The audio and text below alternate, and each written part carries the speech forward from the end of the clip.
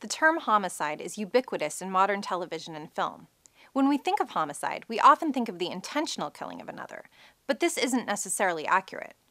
Although it depends on your jurisdiction, homicide is usually the killing of one human being by another. However, homicide itself is not necessarily a crime and does not necessarily mean intent was used to commit the killing.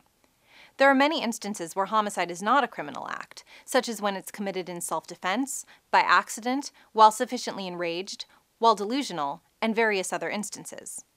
When someone kills another intentionally, that act is usually referred to as murder, which is the more common legal term to use for an intentional killing. If you or someone you know has been charged with homicide or murder, it's important to speak with an experienced attorney immediately.